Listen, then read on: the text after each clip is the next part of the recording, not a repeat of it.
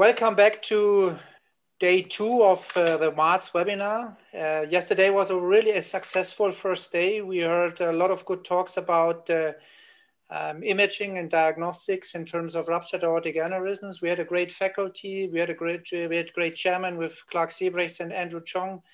And uh, now today on day two, we will focus on the open surgical treatment. So I just will give a short summary about things we learned or what I learned yesterday uh, in, in, in this session. And uh, in the first uh, presentation we heard, we heard about the importance of um, duplex ultrasound as a screening tool, that this really works, but that uh, in terms of national programs, there is uh, still um, in a lot of countries uh, that is missing. We heard from Andrew Choong from Singapore, we heard that weather and also seasons will have an association in terms of uh, uh, rupturing of aortic aneurysms. And so here in the Northern Hemisphere, we have now winter. Uh, we will account um, a higher number of um, ruptured aneurysms than in summertime. So this means that in the southern part, you will have um, more relaxed time now. Uh, in a third talk from Moritz Wildgruber from Munich, we heard about the importance of uh, CT angiography in terms of assess assessment and measurement, and that uh, for the preoperative diagnostics in ruptured aortic aneurysms, um, ultrasound doesn't have a, a place uh, at the moment, that CT scan is the gold standard. Benedikt Reutersberg here from Zurich uh, talked about the sizing in ruptured aortic aneurysms and um, how to do it uh, in terms of um, assessing the CT angiography. And Zoran could uh, present some first data that uh, in this uh, in these patients with hypertonia that they will especially have an um, underestimation of the diameter in the iliac vessels for assessing the endovascular prosthesis. We heard from Lawrence Smoily something about um, predictive models and that these predictive models really work, but we discussed a lot about uh, can we really use them and in terms of ethical and moral considerations. We will hear today a talk about that. I'm really very excited about uh, this talk. Wilmer Schilling talked about um, uh, imaging modalities. And um, nowadays, uh, there, the CT scan, in contrast to the preoperative um, um imaging modality, the CT scan hasn't a role there. Most of uh, the postoperative imaging can now be done by contrast enhanced ultrasound. So we learned a lot today. Um, we will focus, as I said, on open surgical treatment. Um, I welcome you all. Um, I'm really happy to have you here. Please use the chat function. Um, and um, yeah, I'm looking forward to an exciting day. And I will give over now to the moderator of, of this day, Zoran Rancic.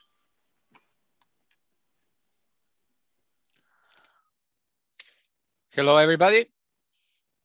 Good afternoon, good morning, or good night, depend, but not night that you're going to sleep, because I uh, we are in the different zones at the moment. I welcome you to Zurich. I welcome you to the University Hospital Zurich.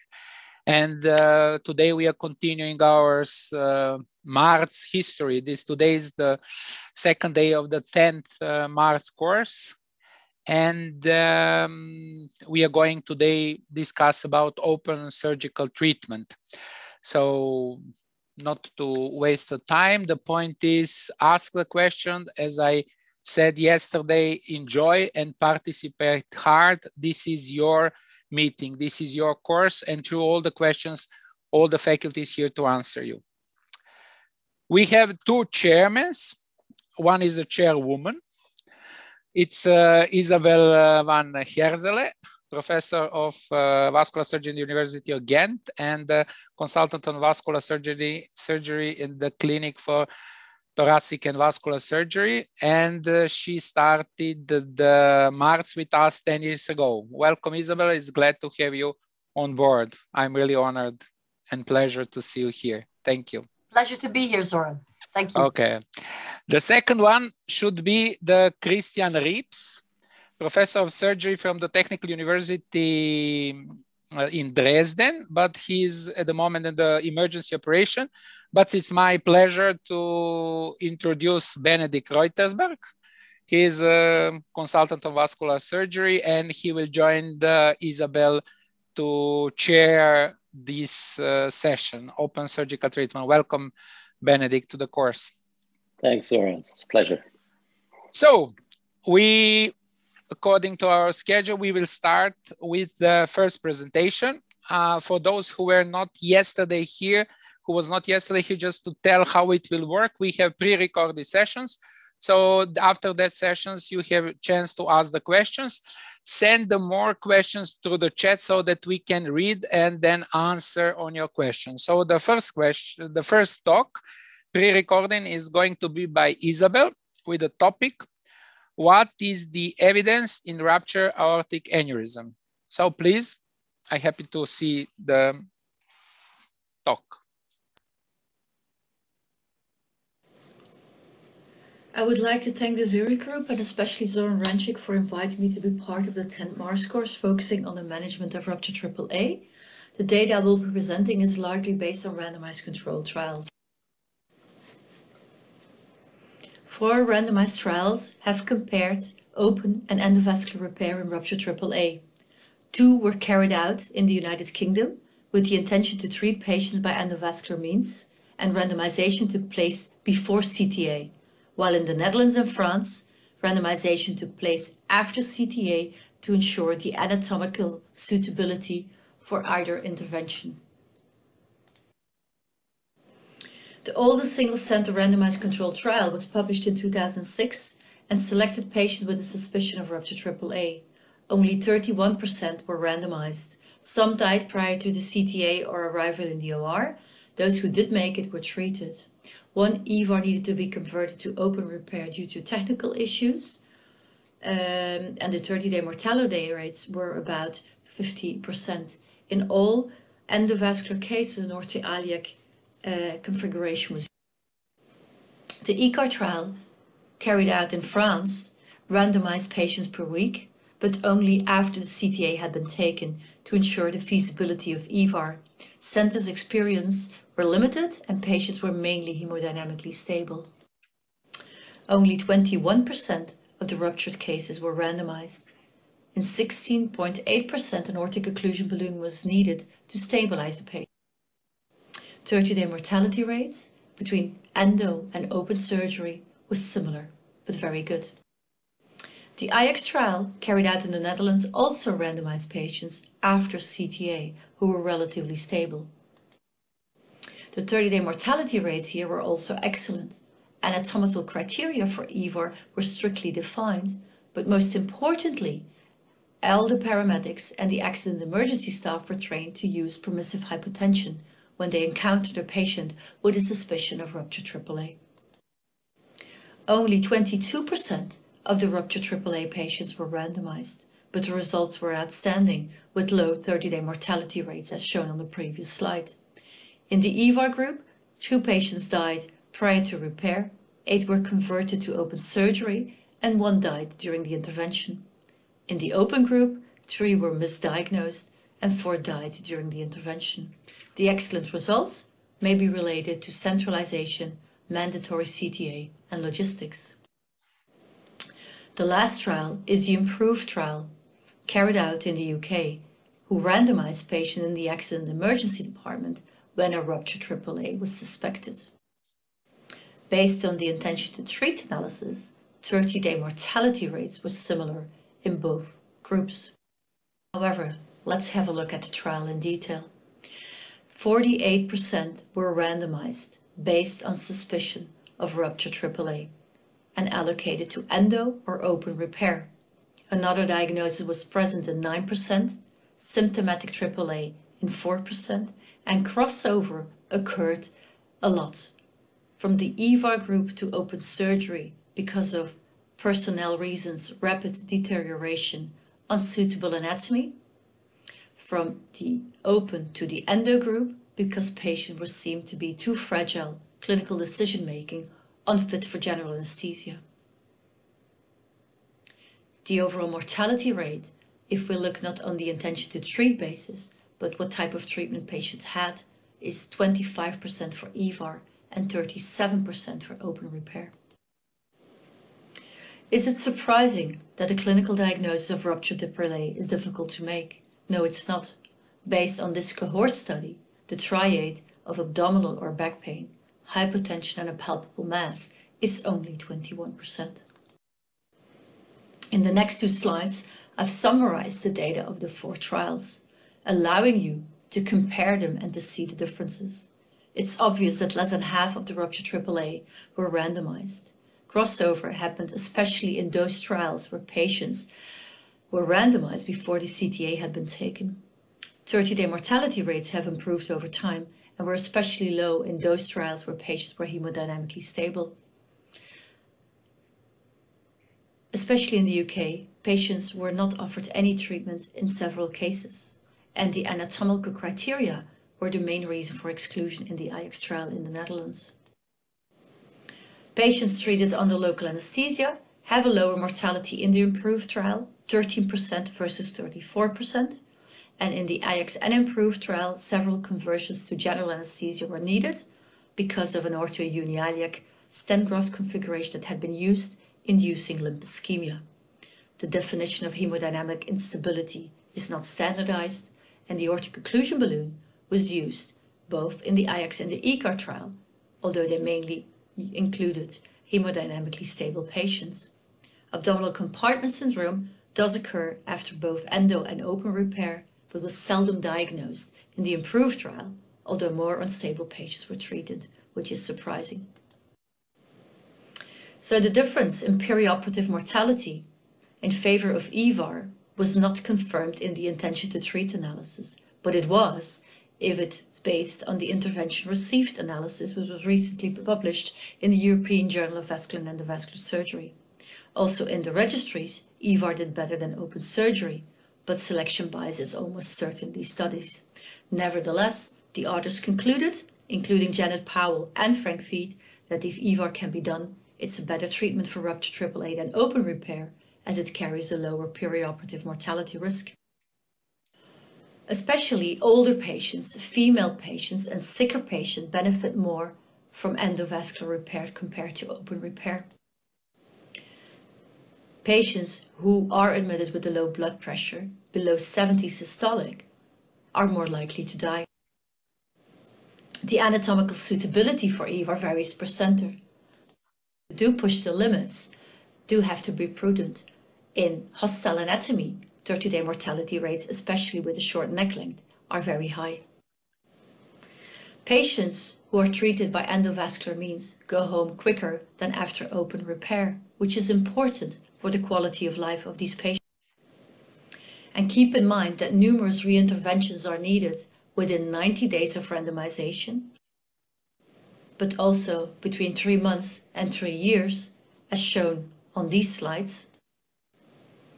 And the number of reinterventions at midterm are almost double after elective EVAR than after open repair, suggesting that strict surveillance protocols are crucial. Even beyond three years, reinterventions are still needed. And keep in mind that after open surgery, major amputations are more likely to be needed than after endovascular repair, and this is considered as a worse reintervention by patients. So based on the provided evidence, ESVS, NICE, SVS and German guidelines have decided and recommended that patients with a ruptured infrarenal AAA should be treated by endovascular means if anatomically feasible, ideally under local anesthesia.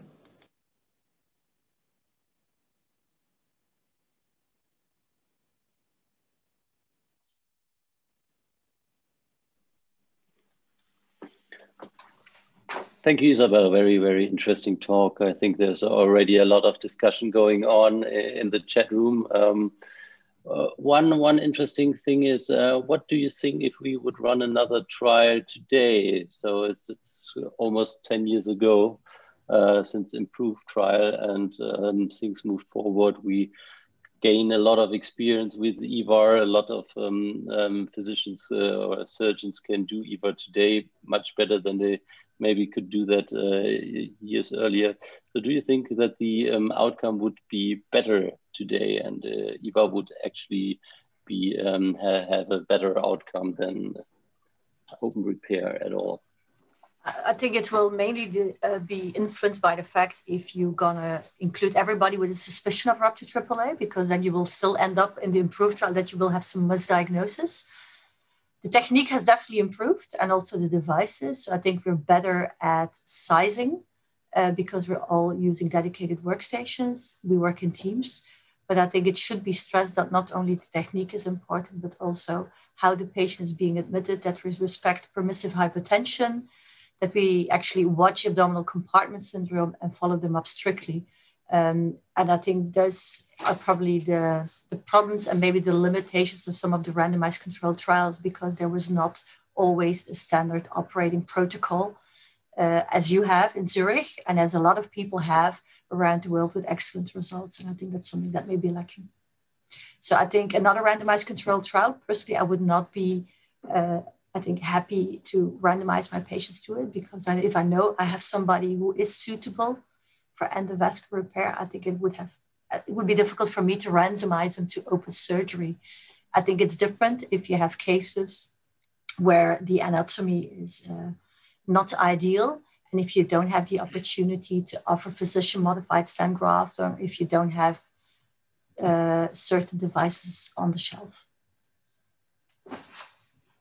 I think I totally agree. I think that was a very good um, summary. So, is there any further questions, Zoran? I don't uh, have my video, but uh, I just want to. We hear you. I, okay, then it's fine. I'm thinking maybe the new. I completely agree with Isabel that there is no the place for new randomized trials because always was the question why we needed these trials. But nowadays, maybe we should think to use some adjuncts, to, for example, with uh, surgical modified stent grafts or the parallel grafts or something that we can extend the proximal landing zone. The biggest problem was that a lot of people work in the improved trial move for endovascular to open surgery because of a hostile neck. Mm-hmm. And that means indeed situation that can be maybe used on the, for example, to these trials with uh, stable patients, we don't need to use the stable patient because for unstable patients, the adjuncts are helping as a aortic uh, occlusion balloon. Um, no more questions. So without slide, I think, uh, thank you, Isabel. Thank you very much. So we will continue and we have uh, Tanya Krones, professor of uh, ethics at the University of Zurich and the lead in um, clinical ethics. So Tanya, the story you are going to tell us is completely new for us because you're giving us the answers that we had to do it by ourselves, but now we are giving you the talk. So the pre-recorded case or the pre-recorded talk, and then we have chance to ask uh, Professor Krones. Thank you very much to be with us today. Thank you very much for inviting me to give a talk on ethical considerations in the treatment of ruptured aortic aneurysm. So the agenda is that I will first give a very short refresher on clinical ethics in a nutshell, then discuss decision making in elective surgeries, what are today's no goes, basics, and best practice, and then come to the um, topic of the conference respecting patients' preferences in an emergency surgical intervention such as ruptured aneurysm. So, if you want to quickly say one in one sentence what is the history of not only medical but also medical ethics and especially of treatment choices we can say that it is from paternalism the doctor knows best to medical professionalism which means also a goals of care and a shared decision making approach with our patients. And to honor patients preferences in elective surgery in this example what can we say about that um, we can get 100% consent to aortic aneurysm elective surgery if this was one and very great study of Bert Mollewijk and other colleagues from the Netherlands, also 20 years ago. If surgeons use the word time bomb, you have a time bomb in your belly, then every patient gets the operation and says, I want the time bomb out. But this is, of course, not fair and not right, right? So, what is the minimum today? The minimum, if we have an aneurysm and we, we, we have it, we saw it in screening, the minimum is check operability and obtain a valid informed consent. So, surgery is the default. This is the typical thinking. And if surgery is not indicated, we have two other options, do really nothing and let the patient just live her life, or the wait and see and screening strategy. But if you look at the evidence base and possible choices, you have, of course, always all options. You can see here, you have surgery, you have wait and see, and do nothing. And in, if you look at the future, if you chose surgery or wait and see, you have at the end a natural death or a surgical death, or if you decide not to get up the operation, you have a death by rupture. So this is the whole um, decision tree. And if you really want to do shared decision making, you, you help the patient by understanding what that means, also by giving numbers in a way that people understand it. So you have a new presentation. If you really want to have honor patients' preferences from the beginning and do a real shared decision-making approach, you have surgery, wait and see, and do nothing, and you present the, um, the outcomes in these ways, like for decision aids. And um, there are a lot of decision aids, evidence-based decision aids around. You can look them up, for example, if you go to the Ottawa Health Research Decision Aid um, Inventory. Um, there are randomized trials on that. And we know that if patients get decision aids instead of informed consent or um, surgery, you should get operation or not, people are much more informed, there less, there's less anxiety or the equal way of anxiety, and they choose this way in a very good manner and have the feeling that they are well informed and get their way.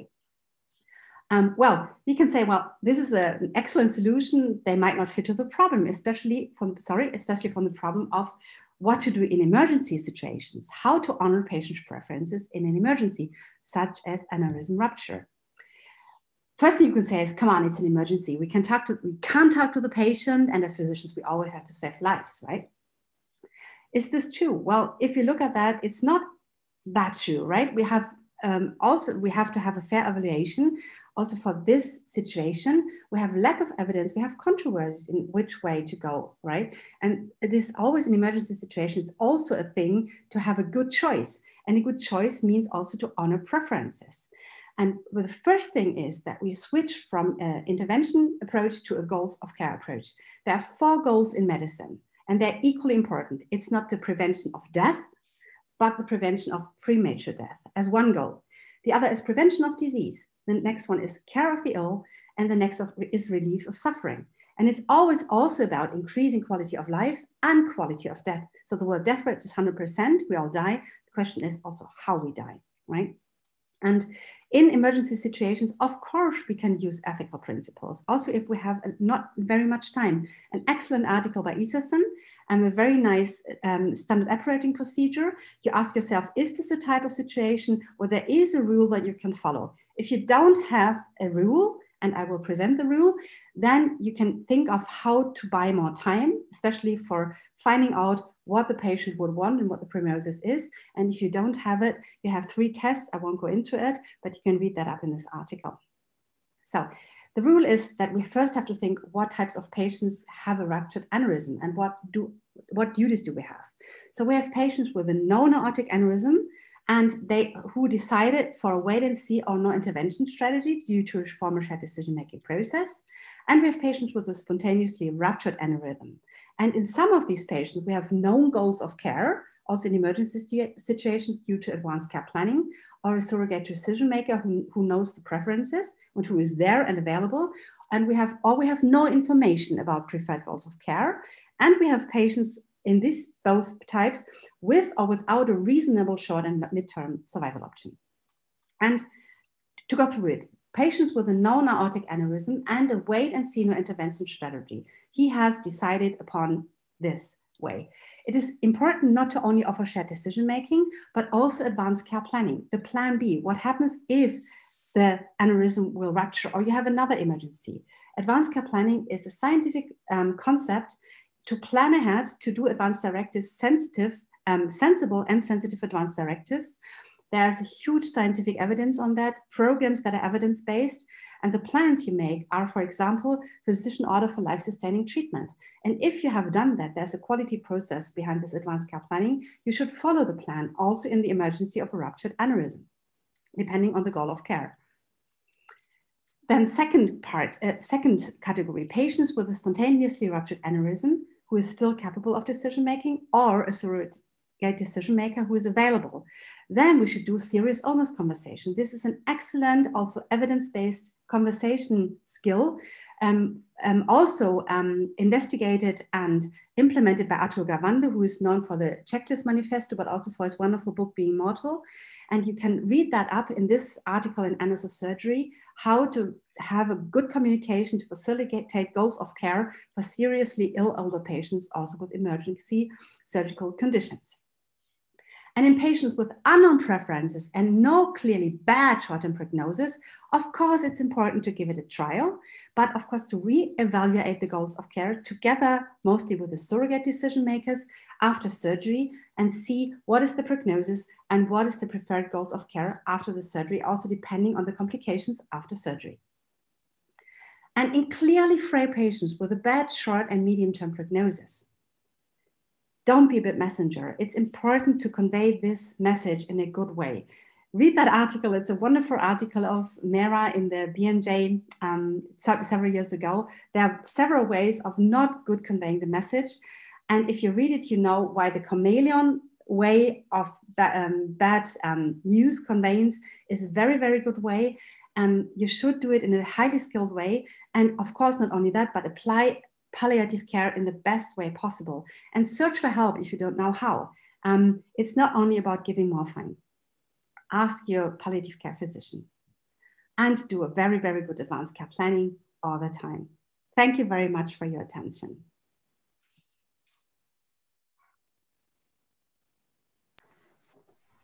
Thank you very much, uh, Professor Krones. That was an excellent talk, actually. I really enjoyed that. Um, if I may, because um, I see that there are some questions.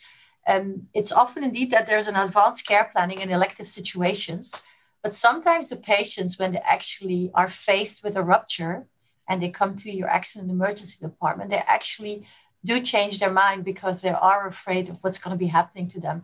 So, how should we deal with that as a surgeon and mm-hmm. as a human being? Yes, it's a very important question. Huh? So advanced care planning is always, of course, a process, and it's not like a testament saying if, if you say something, you you stick to that. So we are we are human beings, and of course we can change our minds. But the evidence is really very very strong that if you do advanced care planning in a very very good way, in a deep way, and really elicit goals of care, patient, and you, you also have a treatment plan of palliation in, in, in, in place, then patients normally don't change their minds so, so quickly. So I had one situation just to share it with you. There was one situation where the patient with an advanced care plan, right? and uh, saying he doesn't want to go to the ICU any any time with the COPD. And the physician came onto the ward and he had one one paper and saying, um, "Do you want to die?" He had a black cross on his um, on this paper. You want to die? The patient said, "Oh well, no," and then he crossed it. So the ICU, right? So there was only intubation and have stick to the dyspnea or dying. And the palliative approach of uh, terminal sedation, which most physicians choose in this situation, was not offered to the patient. So it's also a question of what we offer instead of emergency surgery. When we say we can keep you in comfort, um, there is a way really of, of you know helping you. This one we should say it's, it's, if you say you, you die or you, you will be operated, then you get of course the answer. It's like the time bomb then. I see there's some questions. How do you get trained to deal with the serious pathology and how do you actually learn how to go to this advanced care planning? Do you have any uh, tips? Oh, thanks so much for this question. Yes, there is really a, a, lot of programs around the world. If you look it up, for example, in, in, the, uh, in the US, it's the Respecting Choices program. In Australia, it's the Respecting Patient Choices program. At the University Hospital in Zurich, we have a one-day course where we teach the Serious Illness Conversation Guide. And it's there also the Ariadne Labs in, in, in, at the University of Harvard, where they develop the Serious Illness Conversation Guide. So they're really training tools, very, very convenient training tools uh, where you can, which you can look up when you when you go to these links which I gave you, you will find them actually around the world. But I think that's really an important issue which we should already learn in med school, and uh, should this will, should be implanted uh, in the early clinical years uh, for for everybody. And um, I, I, really appreciated the talk. Thank you very much. Can I ask you something? Of course. Um, the big problem uh, in the emergency room is the time pressure. Mm-hmm. And if we cannot buy time mm-hmm. uh, to to for decision making, it's a difficult situation. If we buy time, and we uh, and the patient takes the risk, and he has a higher risk in the meantime, then it's his decision. But if if we on a high time pressure, mm-hmm. what what would you advise to to deal with this? So this is really excellent, an excellent question, and, uh, and a very important answer to be given. So, um, to tell you, to give an give an example, if you really have highly skilled communication skills, it's on, not only medical school, but it's really a long-term learning. And um, what Atul Gawande has developed this this the serious illness conversation guide is really for the emergency room, and I can um, tell you what kind of question just just um, tell you what kind of questions you could ask. Also, in a very very short time, you can say, is there is is there any kind of care um, if you if you are really sick what you would want or you wouldn't want right? So is there any treatment intolerable to you uh, intolerable to you? You can say that and i can tell you that if you really ask that question and not do you want resuscitation but from the person's person's perspective saying this right um, um, is there any kind of care that you would or wouldn't want me as your surgeon to do there are patients who, who tell you the worst thing I wouldn't want is to die on the ICU, for example. And if you're fair and you said, see, I hope that this won't happen, but I, I, I am afraid that this might happen also if we do the, do the, do the operation, right? And um, this is these are really specific questions. If you look it up in the article, which which are developed for really short-term eliciting goals of care. And they work. They are tested. So so, and it's so really for, about, it's like really great. Hmm? For yes. this, you need a, a quiet or a calm environment. And in the emergency room, there are 10 people, everybody's trying to put a line or a tube into the patient. So you have to need, you need time, maybe mm -hmm. one, two minutes to discuss with the patient alone which is true. But um, I mean, you are you are experienced surgeon. My my my husband is also an experienced emergency uh, care physician. He says if you are experienced, if you you don't need even two minutes. You need at, you need at least four questions and give the patient a, a one minute one minute talk. Say just be quiet for a minute and ask these questions, you will get an answer. I think it is as important as putting the line.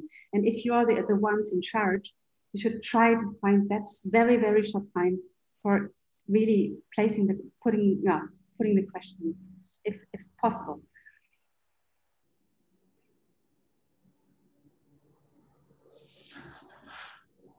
Sorry, uh, I raised the hand. It was really great talk. It was really, I don't know, it's amazing. And we asked a lot of people, a lot of people asked they would uh, like to share the articles if there are some articles that you can share. And uh, what I would ask you very short, and I know that it is not maybe, I don't know how to answer because I'm completely confused with this.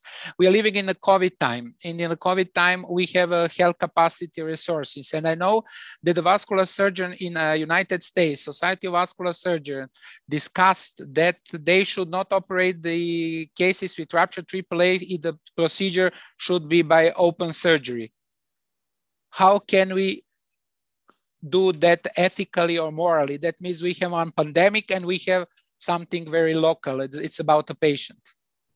That's a tricky question to be answered. I know it's so complicated. Maybe no, no, no, it is. I, what I can say is, you know, you know, this triage that you, you're talking, um, Zoran, you, you, you're hinting to the triage and injustice problem, right? And the, the problem is that this is one of the hardest decisions we can make. And I can just tell you that everybody is fighting for his or her patient right? This yeah. is normal. This is any physician will do that. But the problem is, of course, if we have scarce resources, and this is now we always have scarce resources, but in these times we see it before our eyes, right?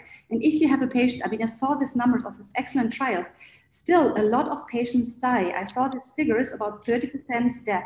And if you have a lot of patients and only five ICU beds, let's say, of course you have to think of giving the bed to those who have a greater chance of survival because this is the problem see so this is really coming together and we all try to avoid this hard triage but what is happening if we're not transparent we do what we say is a silent triage implicit reasoning so everybody is fighting for his patient and another patient will die because we don't have the resources see? i don't want to press you at all I know, I know, I know, Thank you very much for this great answer. I think I pick up the essence of this. Thank you very much. Okay. So thank you. Thanks. Uh, we will continue. So uh, which factors do influence the results of open repair? Our senior consultant, Dr. Reinhard Kopp, is going to give pre-recorded case and then we're going to ask him. Please, Reinhard, or please, Tina, start pre-recorded case, please. Dear members of the organizing committee, dear chairman, thank you for the invitation. And I also want to welcome all participants attending this exceptional meeting. The topic of my presentation was already mentioned, which factors influence the results of open repair for ruptured abdominal aortic aneurysms.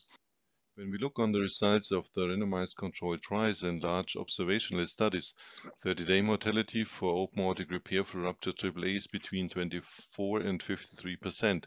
There seems to be an early benefit for EVAR after ruptured AAA repair, but this survival benefit was seen only in the observational studies and not in the randomized trials.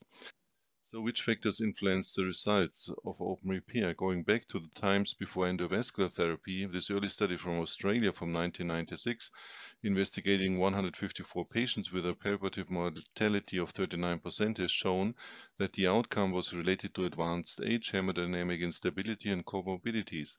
According to their results, the authors conclude that a selection of patients to be treated and a more optimized distribution of healthcare resources should be considered have you improved over time. This more recent study from Belgrade with a title Clearly Confident About Open Aortic Repair has investigated 729 patients with the ruptured AAA during two 10 years time periods.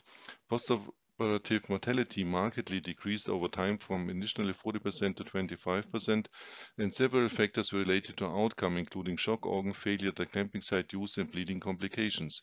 The authors recommended immediate surgery, supraceliac clamping, the use of cell saver for retransfusion, and treatment by high volume surgeons in high volume centers. Age is considered to be a risk factor for patients having open rupture AAA repair. As shown in this meta-analysis from the Netherlands 2020, investigating patients with, with uh, ruptured AAA being 80 years or older, perioperative mortality was 43% with a clear benefit for EVAR. However, the study from Bern on the right side has shown that open rupture AAA repairs feasibly in selected octogenarians with a perioperative mortality of 27% and good postoperative outcome. Also, the ESVS guidelines recommend that selection of patients should not be based on scoring systems or on advanced age alone. Postoperative complications like colon ischemia and abdominal compartment syndrome are known to influence outcome after open aortic repair for rupture AAA.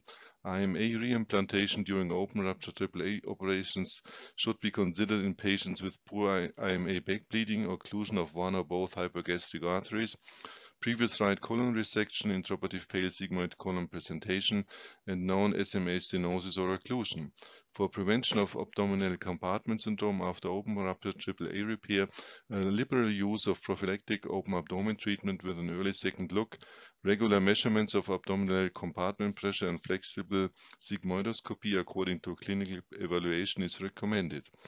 These are the data of after open aortic repair for rupture AAA from the Zurich Hospital 104 patients treated between 1997 and 2002.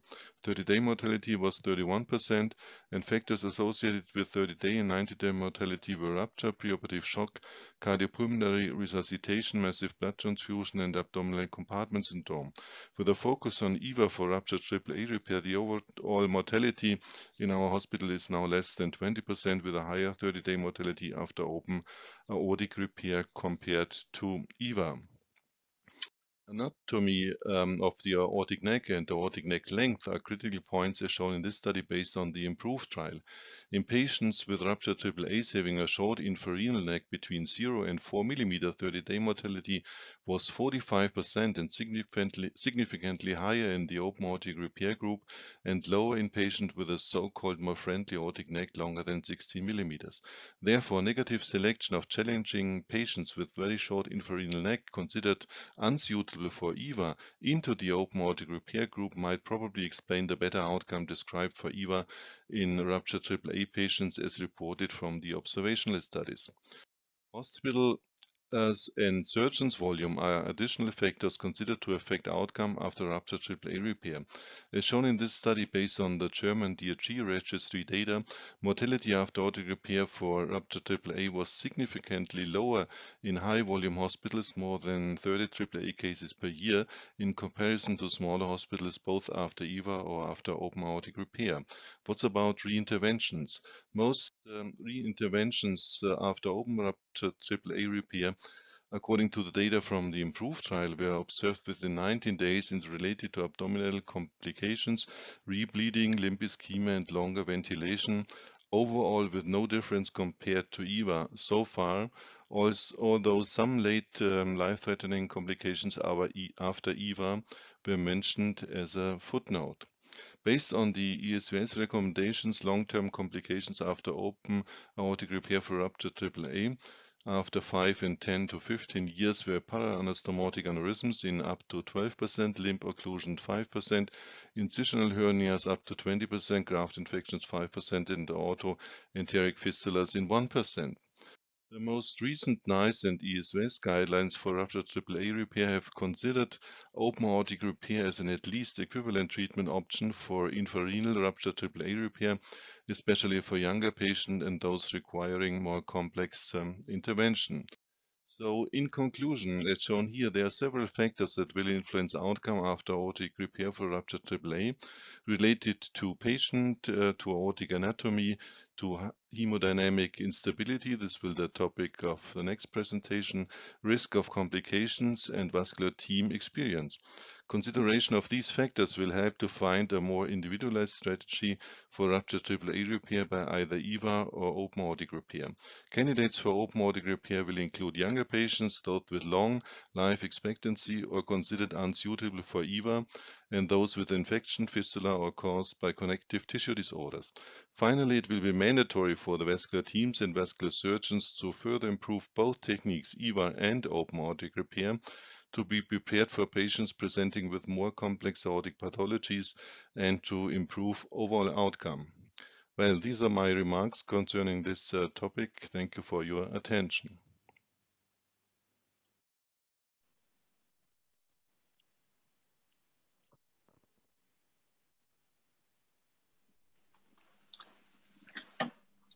Yeah, thank you. Um, I think there were already some questions in the uh, chat room. I think one was from you, Isabel.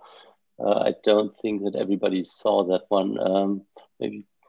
Yeah, so um, Rainer, thank you very much for this nice overview. I think uh, we all know that endovascular treatment is becoming increasingly popular, and especially the younger people are getting more and more difficulties to learn these open skills. So, how should we actually still learn them and maintain them because they're still occasionally needed? Uh, so, how do you think we should do that? And my second part was or should we just do open surgery in centers of excellence? What is your view on that? Well, that's, uh, I think, a, a, big point, and I think the discussion is already going on in, in this field. And the data show that um, the outcome is better in centers with a, let's say, higher volume or more experienced um, um, surgeons, and um, and and in a more uh, experienced uh, hospital. And especially this point is uh, relevant in the open aortic repair group. In the EVAR group, um, well, according to the studies, um, the volume of uh, for surgeon and hospital is more stable and doesn't show this uh, this uh, higher mortality in, in the smaller hospitals. Um, and uh, because of the increasing numbers of EVAR going on, the, the numbers of open repair will decrease.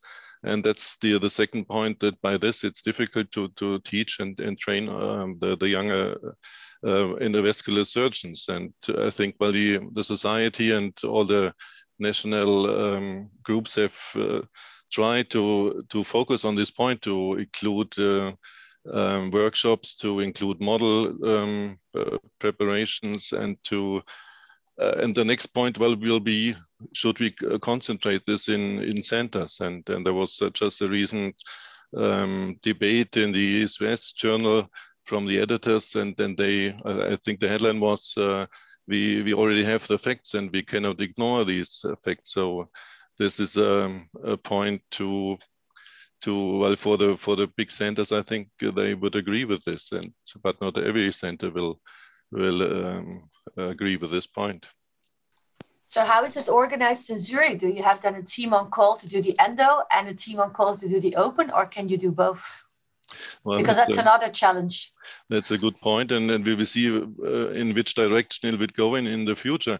At the moment, uh, we try to uh, be uh, trained in, in both, but um, uh, at, in, in the next years, I think there will be uh, more specialization of uh, some doing EVAR and, and, and, and, advanced EVAR, and the others will go for open uh, um, uh, repair, especially including this uh, these complex uh, cases and the, the connective tissue disorders. I see there's a question from our audience as well. Somebody says, okay, you have a ruptured AAA in a small hospital, patient is too unstable to move, and it's not possible to do an EVAR, so what you should do then you do have to do it. Maybe using an endoclamp, or how would you advise them to deal with these?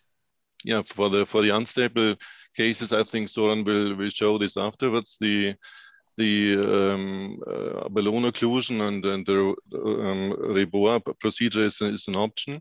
And uh, however, we have to to uh, be aware that that we go in in the strategy we go for EVAR we, we select the good cases for EVAR, and, and, and some of these cases are then left, uh, even if they have comorbidities, but they're unsuitable for EVAR.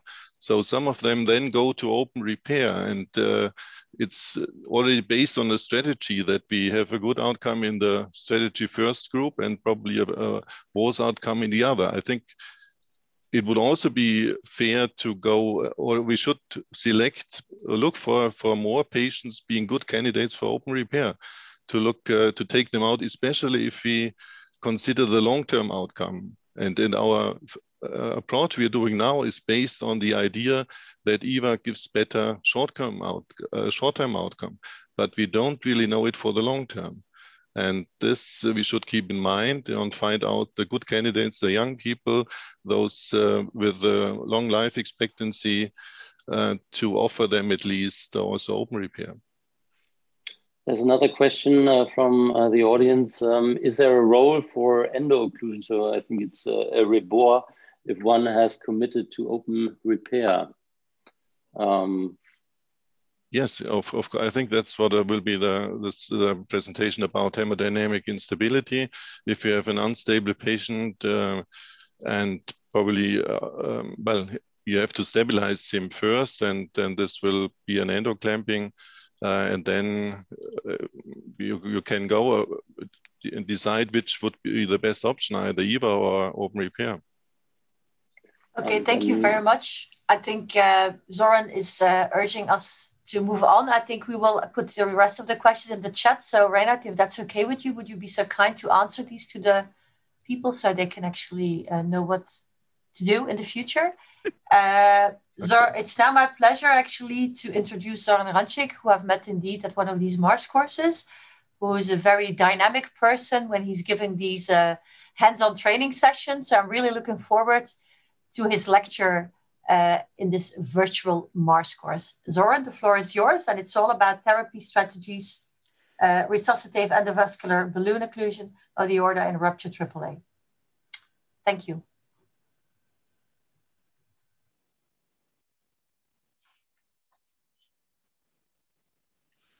Good afternoon once again. This is a story about use of aortic resuscitative endovascular balloon occlusion in patients with ruptured AAA. The synonyms are endoclamping or simply aortic balloon occlusion. Those are lessons we learned from 22 years experience in the University Hospital Zurich. Nothing to disclose. There is always a history First emergent EVAR for Rupture AAA was done in 1994 by Frank Veith. Here in Zurich, we did first emergent EVAR for Rupture in 1998. There was a period, 2010 to 13, when we performed only EVAR for Rupture AAA. Patient pathway is standardized. Every patient with suspected rupture becomes CT angio to make diagnosis and prove feasibility for emergent EVAR. In the shock room, follows anesthetic workup on the one side and surgical decision open of endovascular treatment is going to follow on the other side. At the end of the procedure, patients getting CT angio and then transfer to ICU. We define five key elements that influence the results of treatment. Hemodynamic, imaging, procedure, abdominal compartment syndrome, and team. I will focus on hemodynamic. After call, we advise referee to lower blood pressure, red square, in every patient with suspected aortic acute lesion. There are two measures that belong to hypotensive hemostasis. Permissive hypovolemia, no or little infusion, and control hypotension. In patients with normal or high pressure, blood pressure is actively lower pharmacologically. Whenever possible, we use local anesthesia. In case of hemodynamic crash, we use aortic balloon occlusion. This is something what is not new. Indeed, in 1953 was first published the use of balloon for hemodynamic massive abdominal bleeding in stable patient. In 1977, use Fogarty catheter was described in patients with ruptured AAA. 2002, in European Journal of Vascular Endovascular Surgery, published use of endoclamping and local anesthesia for ruptured AAA. And here we see the immediate effect of balloon inflation in increase of blood pressure from the systolic 35 to 85 already after 3 minutes. The aortic occlusion balloon can be also used in open surgery. That means beside open cross clamping on aorta, we can use aortic balloon occlusion through the rupture site, transfemoral or transaxillar. The technique and what we need. It's not about only one balloon. In fact, there are two balloons. And I will now show you how to play with these balloons on the simulation and in real case. What we need for balloon aortic occlusion is the stiff wire, long 12 or 20 French sheet, and compliant aortic occlusion balloon. We are making access transfemoral and through the 12 French sheet over the stiff wire, we introduce an inflate compliant balloon in aorta zone 2. Let's call this balloon first balloon. To implant a stent graft main body from contralateralized side, we need a wire. In order to pass the wire, we need to deflate shortly first balloon. After passing the balloon, we inflate first balloon fast. Before deploying stent graft, we perform angiography through the sheet with inflated first balloon. This is on simulator and the real patient. Second run with deployed main body of stent graft. Main body of stent graft is deployed. Another occlusion balloon is inflated within the main body. Let's call this one second balloon. In this moment, we have two inflated balloons, first in aorta zone 2 and the second in main body. Now we have to remove first balloon. Second balloon is inflated. First balloon is deflated. In open surgery, that will be removal of supraceliac clamp and aorta close clamped infra or transrenal. Second balloon is inflated. First balloon is removed. Real patient angiography. EVAR is almost finished. We have to deploy the contralateral limb of stent graft in order to pass the wire for contralateral limb, we need to deflate shortly second balloon, then a gate inflated fast, and completely deploy the contralateral limb. What we have to be aware if we want to use aortic occlusion balloon. The killer is access. So the transfemoral access, we try to make it percutaneously, but if does not work, we go for open open access. Don't lose the time. Always puncture 2 centimeters above the femoral bifurcation. They are same modality for puncturing axillary artery. For brachial arteries, preferred open surgical access. Second issues to be aware. Check descending aorta to identify shaggy aorta and prevent embolization. Third, be aware that aortic occlusion balloon can cause complication. Embolization, aortic rupture, dissection, balloon rupture can be dislocated or can cause ischemia reperfusion injury. Fourth, aortic balloon occlusion must be learned on a 3D flow model or on the virtual reality module. Fifth, the use of aortic occlusion balloon is teamwork and could be trained in simulation room. You see two faculties who are doing this.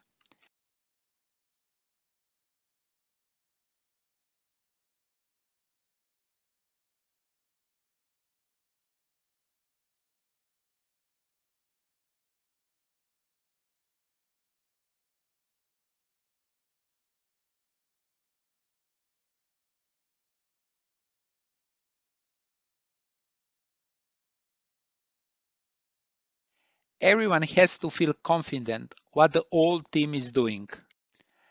And that will result in appropriate reactions when storm, winter, or rupture is coming. Thank you very much for your attention.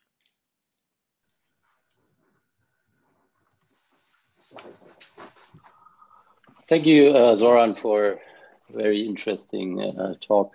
So um, there are a couple of uh, questions already, but first, um, there are um, already emergency um, vehicles um, equipped with uh, REBOA systems, and there are um, emergency staff already doing REBOA um, procedures without fluoroscopy um, outside of the hospital. And uh, what do you think about uh, this uh, trend?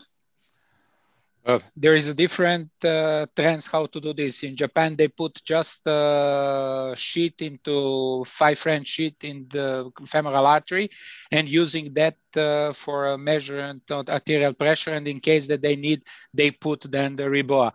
Uh, the system must be defined for everyone doing REBOA. What we are doing here in the uh, our shock room, we are doing that that we are using, and I'm going to answer to the question about fluoroscopy, yes or no. We try to put that without fluoroscopy, that to, but put a balloon could be very dangerous. So that means we are doing in a shock room, and our shock room has facilities, have C-arm, so we can make a fluoroscopy and see how it works. Also, we have a kit, and this kit is uh, within the shock room, so that means when the patient's coming deteriorate, we can uh, just take this kit and it's very, let's say, straightforward. We define the, how to use this. So that means we are trying to do that always with, um, with uh, fluoroscopy. I think, Zoran, there were some more questions. One is what type of balloon are you using? And have you ever experienced a rupture of the aorta when you are using one of these balloons? I we didn't have the rupture, but we have a dissection, and I, I have uh, we had the dissections. Then uh, we had also almost all complications. What I mentioned this, and then the second is we're using Reliant balloon, the Reliant balloon 12 French sheet, but there is also Coda balloon, and there is also on the market some other Tokai, for example, or some uh, from America which does not need any wire. So that means they are different. There is also the Pruitt-Inahara, or so different, but let's say uh, use what you are familiar with. We at the moment we're using this 12 French long sheet and uh, compliant balloon. And another question was, what do you think about um, uh, REBOA in open surgery? Um, yeah. I think so. Yeah. You had just the experience two days ago, so maybe I want to say that was a... something about that. A very specific, Zoran. They are asking in the percentage of cases in open surgery. How often would you use it? Because it's a center that's thinking of maybe starting to do that. Okay, let's say what the numbers I know. I know that we use the 70% uh, in total of all patients REBOA. That means the patient have to hemodynamical deteriorate, then we are putting a balloon. Then let's say um, we have the kit and in open surgery, what is interesting, we used two days ago from the brachial artery, we put a balloon, in patient with uh, six centimeter big uh, aneurysm with Leriche completely occluded the six centimeter aneurysm and the rupture was two centimeters be below the renal arteries. The patient did not have a did not have a neck and had additional thrombus in the superior mesenteric artery and celiac trunk. What we did from the above, from the brachial artery, we put a balloon, we inflated the balloon, and then we made the we opened the aorta, removing the plaque. So that means also remove the thrombus. But what is interesting, that the point with use of balloon is communication with anesthesiology. So that means inflating, deflating, inflating, deflating might might be something uh, uh, complicated, but uh, let's say I think it's enough from REBOA. You should come to the hands-on REBOA and then we will talk. So, uh, let's move on.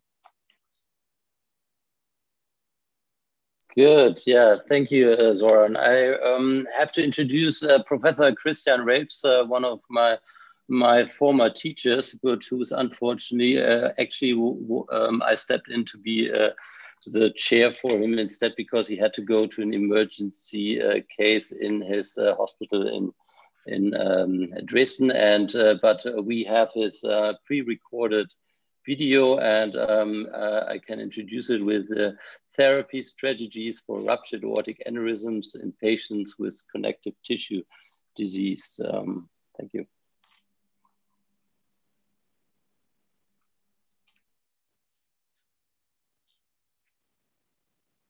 Dear Alexander, thank you for the invitation to talk about therapy strategies for ruptured descending aortic pathologies in patients with connective tissue diseases. First, I performed a literature research about aortic rupture management in connective tissue disease. I found some case reports, but nothing else. So we have no recommendations for this patient group.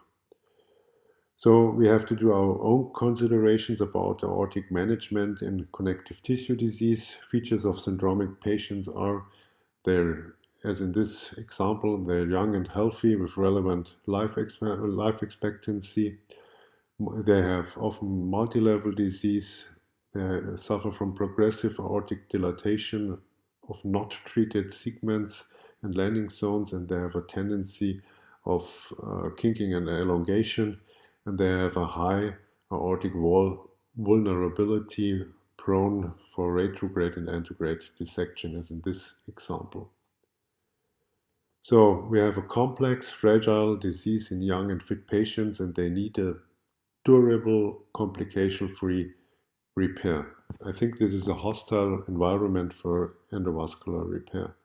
But what is the evidence of open and endovascular repair?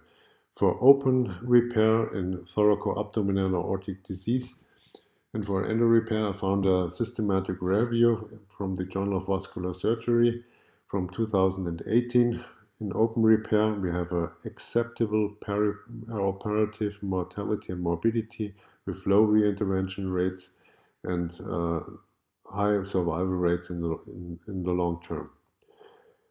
But what is the evidence for TEVAR in connective tissue disease? We have also acceptable perioperative mortality and morbidity rates comparable to open repair but we have excessive rates of early and late treatment failures and, and endograft-related complications. So I believe in general, open repair is still the treatment of choice in fit and elective connective tissue disease patients.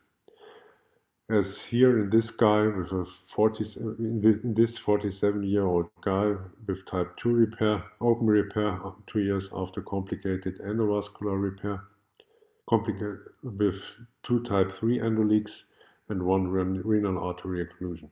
But endovascular repair has advantages in patients, may, may have advantages in patients unfit for open repair, redo surgery, and as a life-saving options in aortic emergency with exsanguination and malperfusion. As in this 20-year-old young lady with acute type B dissection one day after birth.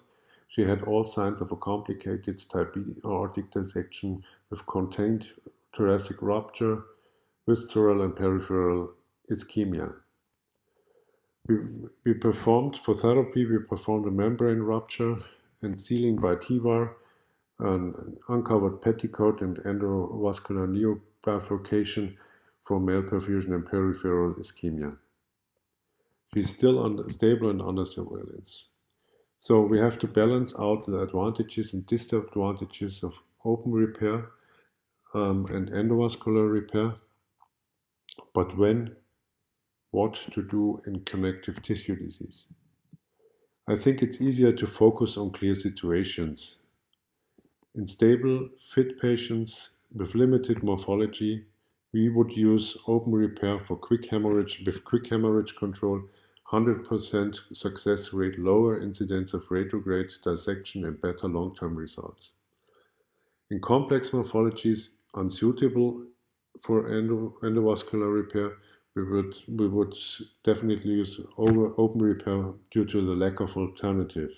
In complex morphology with expected long EVAR intervention times and in unstable patients, we would also use open repair due to the time advantage. In patients unfit for repair, endo is the treatment of choice due to, due to the lack of alternative. In suitable morphology and unstable, uh, especially uh, infrarenal or th thoracic rupture, endo may have a time advantage and is less uh, invasive. In morphology with high surgical risk and or expected longer operation times as rupture T-bed, TPAD or thoracic or thoracoabdominal redo operations, endo may have a time advantage and is less invasive. So with this, you can cover 90% of cases. Now to the technical considerations to note in open repair in connective tissue disease. Avoid repeated clamping, lower blood, lower blood pressure before clamping, and force suture lines to avoid retrograde dissection and, as in this example. Minimize repair to segments really needed for rupture exclusion or, or to, to one cavity to spare time, trauma, and to, to reduce the risk of spinal cord ischemia. In partial aortic replacement, create landing zones um, of more than 5 centimeter for potential later endovascular repair Prepare machine perfusion parallel to aortic access to spare operation time and start distal machine perfusion duly before uh, exposure of the aneurysm to reduce ischemia time in case of emergency clamping. Now to technical considerations in endovascular repair of connective tissue disease patients. The dilemma of endovascular repair in ruptured CTD is the floppy aorta. For safe sealing, you need a relevant oversizing of more than uh, of 20%, but this has an inherent risk of dissection. To reduce the risk of dissection, use stent grafts with low radial, radial force without bare stents, hooks, and barbs. Land in straight aortic segments to reduce the edge forces and use candy plug in ruptured aortic dissections more than membrane rupture by oversized uh, stent. Use moldering or blocking balloons carefully or better not uh, because of the increased risk of dissection.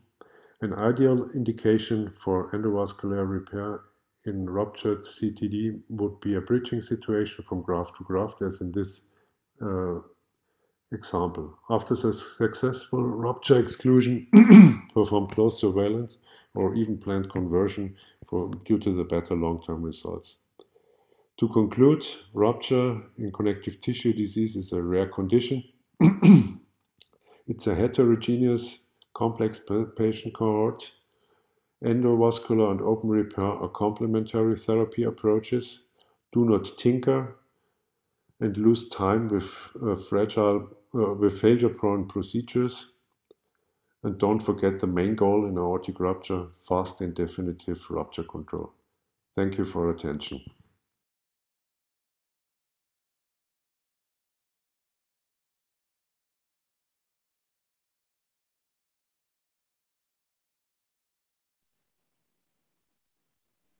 Yeah, so unfortunately, uh, Professor Christian Reeps is not uh, here with us uh, because he maybe is doing a, a, repair of a patient with a connective tissue disease, but uh, maybe um, somebody else um, wants to ask the questions. Or Zoran, should we just move forward with the next talk?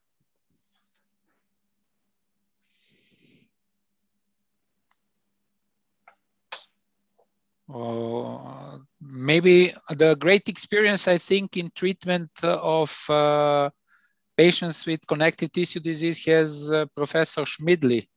So, Jörg, sorry for interrupting you, but maybe you can give, give some comments on um, on this talk or, for example, answer on this question. I did not treat the patient with Ehlers-Danlos endovascular technique in emergency situation. So my answer should be no.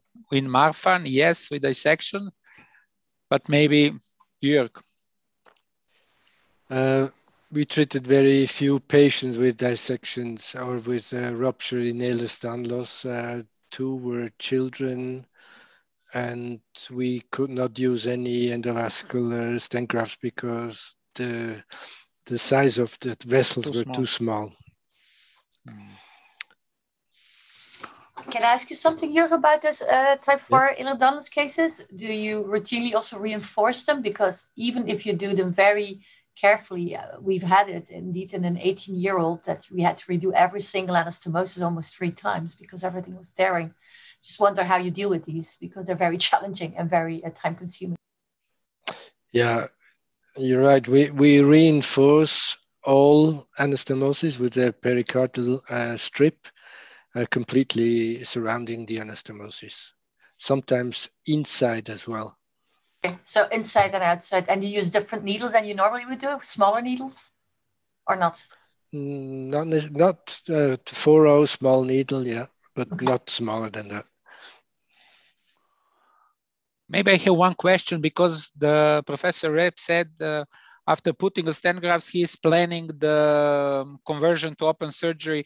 And what, uh, okay, you don't know because you did not put, but what should be that time when to decide to move from endovascular conversion to open surgery? When is this time? We can agree, okay, we did, it was a save, life-saving procedure. We saved the patient. Where should we um, convert remove the endovascular stent graft and convert to open surgery? Should we hurry up or we have time if we see during the follow-up that the situation is stable to wait?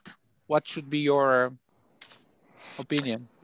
Difficult, difficult question, Zoran. Sorry. Uh, we did both and we were wrong. So we, we had a patient, he, he only was three uh, months after the procedure, he had a rupture and then a stent graft placed, and then he had a small dissection below, and we thought uh, we will wait, and he he uh, developed uh, visceral malperfusion uh, and a continuous dissection. That was a terrible case. He almost didn't survive.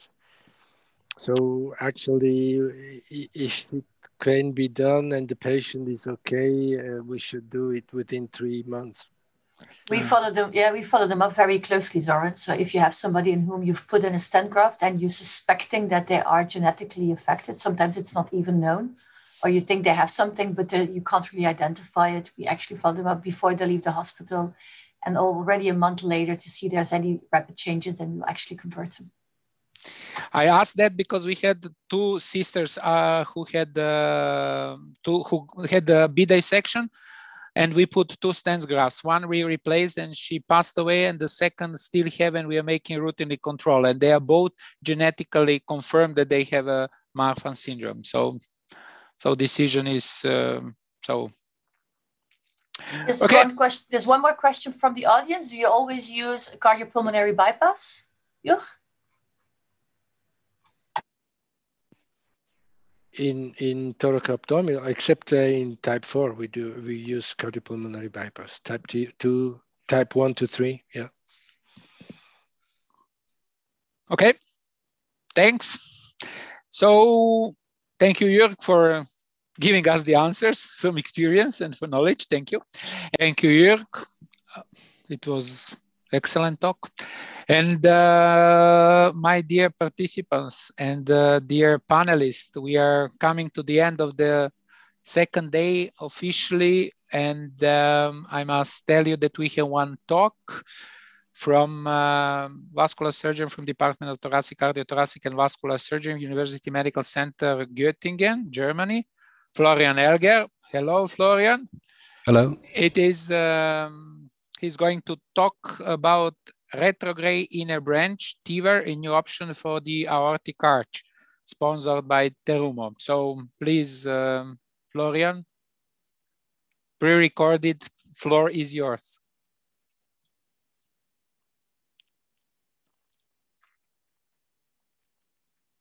and design very much for letting me speak on this occasion. I would like to introduce to you a new stent design for TEVAR procedures, which from my point of view has great potential to simplify procedures in the distal aortic arch and perhaps even in the proximal aortic arch, especially in emergency or urgent cases. My name is Florian Elger and I'm reporting from University Medical Center Göttingen. As you are well aware, the mortality from acute aortic rupture of the descending aorta remains high. By using endovascular techniques, however, it was possible to achieve a significant reduction in mortality compared to open surgical treatments during the last decades. One compares today's data with those of the early 80s, where some authors describe mortality rates of 80 to 100%, the medical progress becomes evident.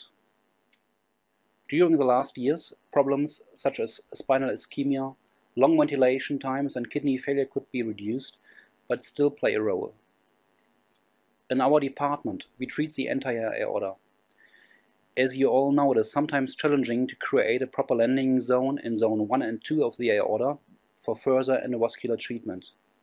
Particularly in the case of ruptured pathologies in zone 2, for example penetrating aortic ulcers, in the area where the ductus botalli runs into the aorta, or a rupture in the proximal descending aorta, these areas must also be properly covered. Time is a limiting factor in these situations. We have extensive experience in the various debranching procedures and perform all types of cervical debranchings. Together with our cardiac surgeons, we also carry out the corresponding thoracic debranchings in complex cases. In recent years, we have performed various options of endovascular and combined therapy methods in the aortic arch in a number of plant cases with very good and promising results. Among those are scallop devices, fenestrated devices, and combinations of fenestrations and scallops. These procedures were combined with debranching procedures were needed. We felt there is a need for a device that doesn't have a need for a retrograde cannulation or an obligatory debranching when you want to preserve the left subclavian artery and that might have a future as a semi-custom or off-the-shelf device and might be applicable in emergency cases. So we asked the Terumo team if it might be an option to rotate the branch module of the Bolton double branch graft by 180 degrees. And if you just have finished your driving lessons, you will probably not start with a brand new sports car. So we asked for a single retrograde branch device and not for a double one. The patient we treated with this device was a 62-year-old male patient who strictly denied open surgery. This patient had a conservative treated type B dissection in 2013. We now saw a fast progression of a post-dissection aneurysm on the proximal descending aorta with a maximum diameter of 63 millimeters. This patient underwent open aortic surgery in his youth in the former GDR due to aortic coarctation. There was no old documentation for this procedure available. He also suffered from a severe psoriasis treated with antibodies and steroids, an associated rheumatic disease, hypertension, and obesity. Here are the preoperative CT scans.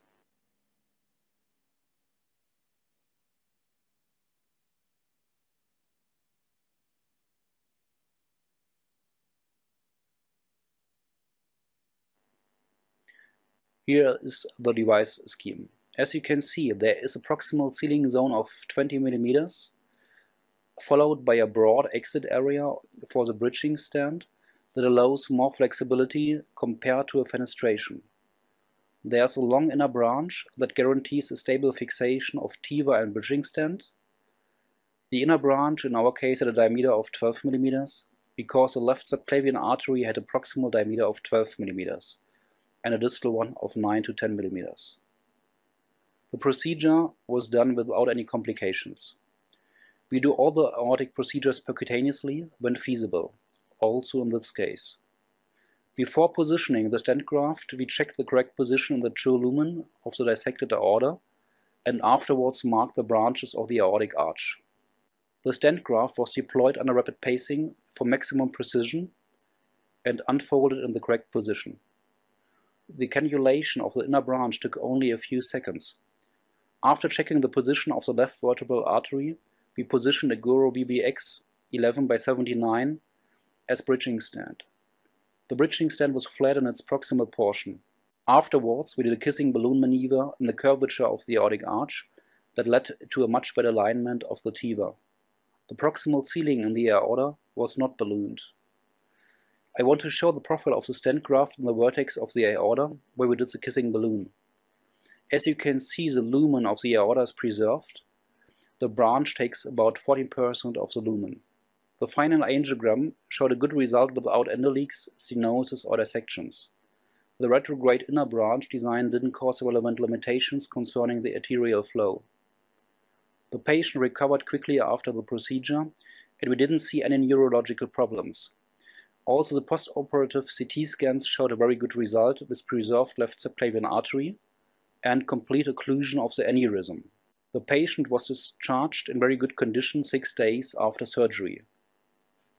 In our opinion, the concept of a retrograde inner branch TEVAR is very promising. Our case was of course a plant custom-made case. But I think that an adoption of this design as semi-custom or even off the shelf would be very interesting for some users for treatment of urgent or emergency cases. In our case, it allowed transfemoral cannulation and stenting of the left subclavian artery in a short amount of time.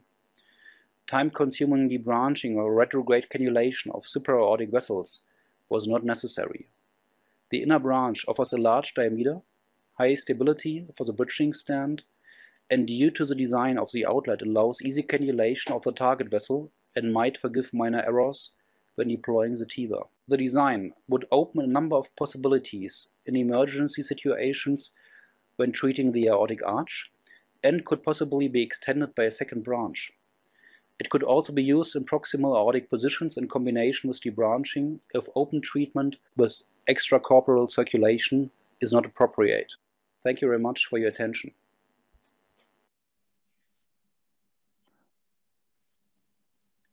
Thank you, Florian. Thank you, Florian. Really interesting uh, device. Um, uh, one question: uh, Is there um, what's the limitation um, or what's the distance from the um, uh, start of the um, orifice for the left uh, subclavian artery to the maybe common carotid artery, which um, you need? Is there any limitations concerning that? Yeah, uh, Bolton says it's 20 millimeters. Uh, so we had this kind of design on our TEVAR.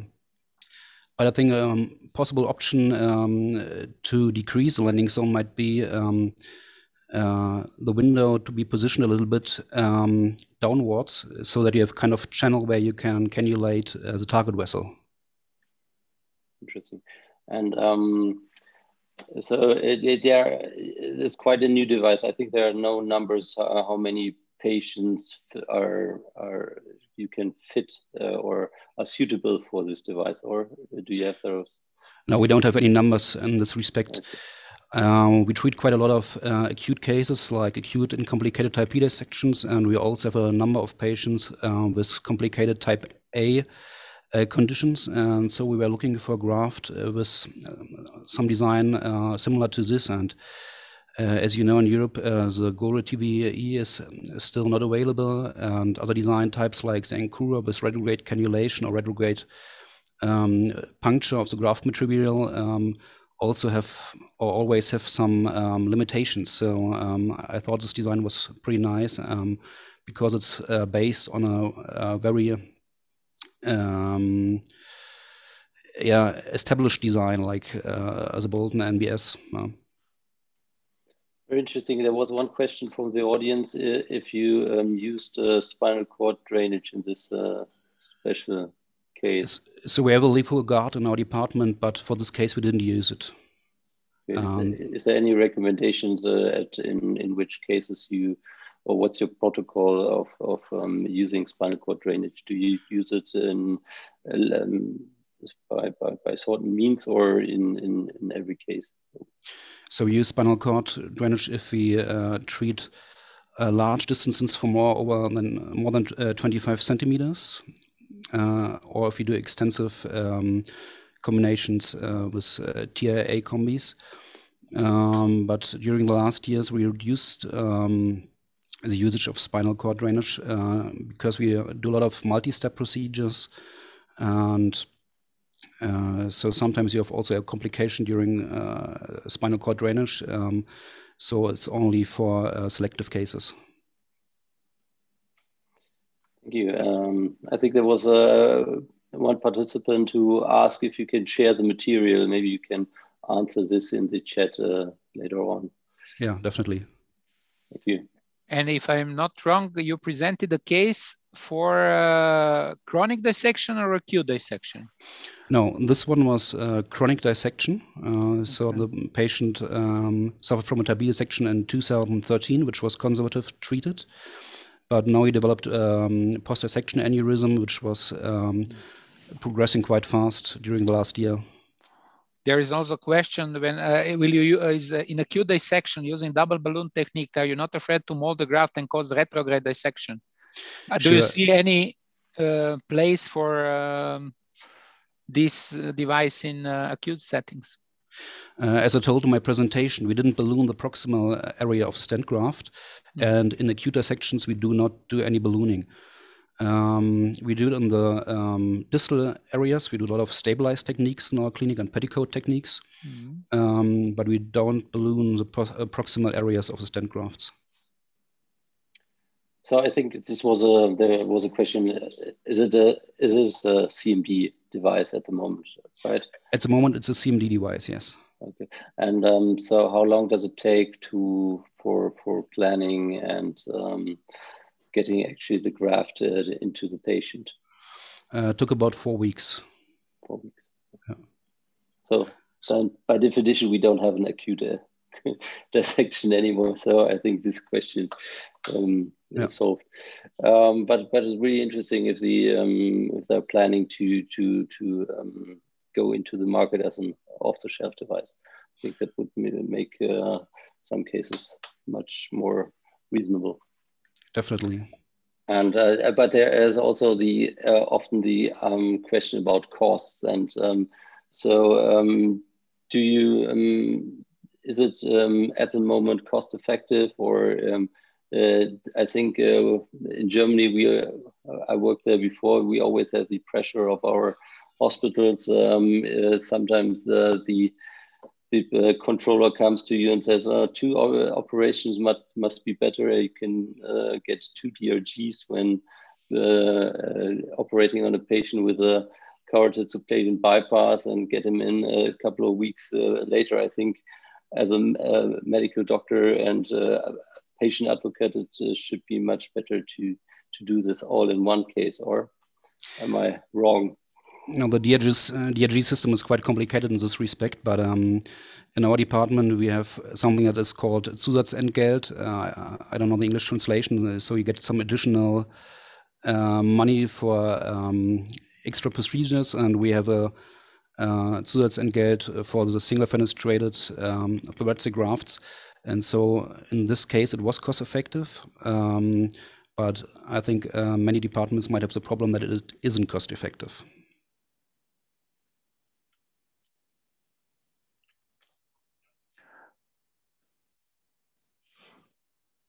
So I think there are no more questions from the audience or um, has anybody else out there another questions for one of the previous um, speakers or at the to the panel or to Dr.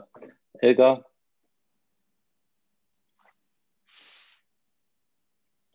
Otherwise, um, I think we have to thank everybody for it was a, a great day again. Um, we learned a lot um, about um, open surgery, um, uh, about the um, evidence uh, of ruptured aortic aneurysms, about um, ethical uh, and moral aspects. This was a really, really interesting talk. Um, as well as um, how, how, we do REBOA cases and when not, and um, when uh, and how to treat uh, genetic patients and um, what to do with um, aortoduodenal fistulas. So a very uh, broad uh, spectrum and um, looking forward to next week's uh, talks. Um, we will have the, we will see us again next Wednesday evening or daytime or morning or night, wherever on the world. And um, I'll give the word to um, Zoran. So, dear panelists, dear, okay, sorry, no, dear attendees, you are in the main focus of our course. Dear panelists and dear all company, uh, Florian, you were with us. That was once again the situation where we had a great time when we showed that discussing about one topic, management of aortic rupture is worth, and we saw the diagnostic, we saw the open surgery, and the next uh, Wednesday at 5 o'clock Central European time, we are going to start with endovascular. So that means I really love this, and uh, we hope that you have all these presentations on YouTube. And welcome again, and have a good night, good uh, evening, or good morning, depends where you are coming from. Thank you very much, and see you soon. Thanks.